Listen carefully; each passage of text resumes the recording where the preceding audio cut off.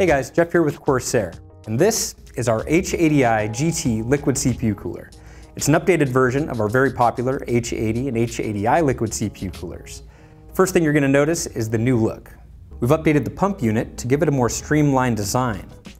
The tubes are now sleeved, and the radiator has an accented Corsair logo on the side to make it look more appealing when installed in your case. But the improvements we've made are more than just skin deep.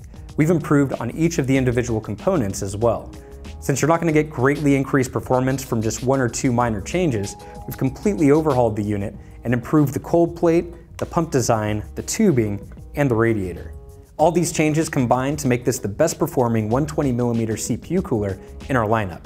And would you look at this? I've got a system here that needs a cooler installed, so I'm going to show you how easy it is to install with the new mounting kit.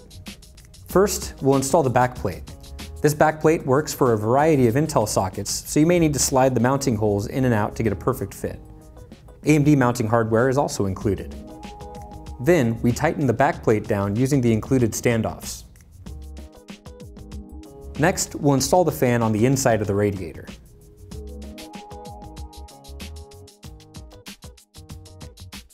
Now we're ready to install the cooling block.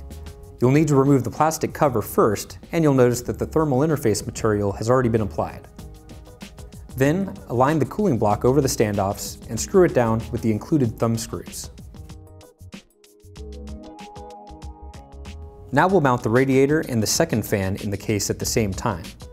You'll need to line up the mounting holes on the fan and the radiator, and then slide the long screws through the fan and screw them into the radiator.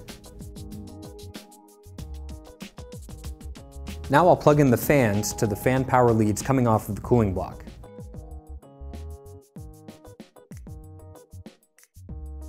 Then I'll plug in the pump power cable directly into the CPU fan header on the motherboard. And finally, I'll plug in the Corsair Link cable. The Corsair Link cable allows the cooler to talk to the Corsair Link software and lets you change fan profiles, LED colors, and monitor your system's performance. All right, I've reinstalled the rest of the components and the H80i GT is now fully installed and operational. Thanks for watching, and if you have any questions, here's how to reach us.